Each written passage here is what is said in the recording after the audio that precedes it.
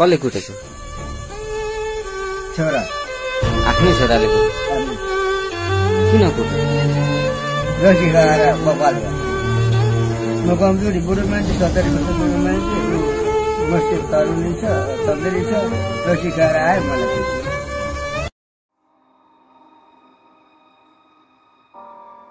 धन्यवाद छोरा।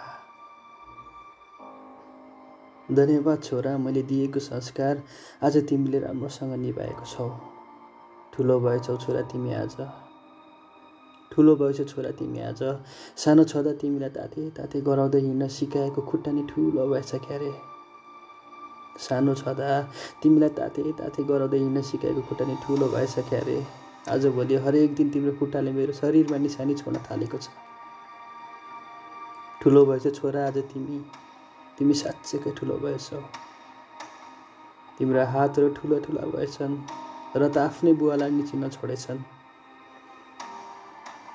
सानो छँदा समयका तिम्रो कमला हात नि आजभोलि ठुलो भएछ क्यारे तिम्रो हातहरूले आजभोलि मेरो हरेक अङ्गमा छाप छोड्न थालेको छ साँच्चै नै तिमी ठुलो भएछौ पहिले तिमीले बाबा भनेर बोलाउँदा र मने म आजभोलि तिमीले बोलेका ती शब्दहरू सुन्दा आँखाबाट आँसु झर्ने गर्दछ।